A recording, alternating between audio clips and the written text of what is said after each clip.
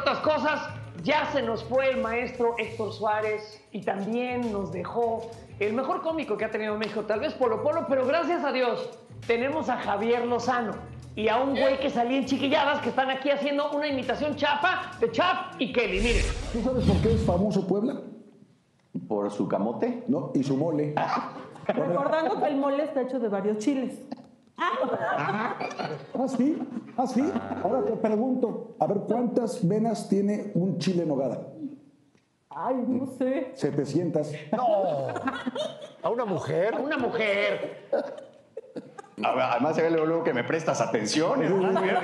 Y tú como que me hueles a cebolla, vienes de los tacos, digo, O sea, imparables. Bueno, Ah, Ah, ese sí estuvo bien bueno. ahí. Ese fue el ¿Oyeron mejor Les dijo cuánto. impotentes. Les dijo están vi- imparables. viejos- Par de viejos- BM. BM, Erga muerta.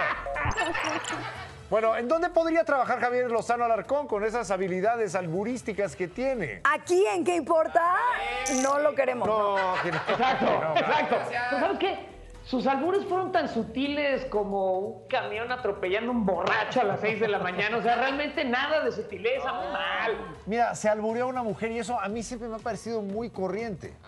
Aunque la verdad lo más corriente que ha hecho fue trabajar en el sexenio de Fox y en el de Calderón, ¿no? Sí, es cierto. Eso sí fue bajo. Y esto fue lo mejor que aprendió en su paso por el Senado de la República. Imagínense nada más.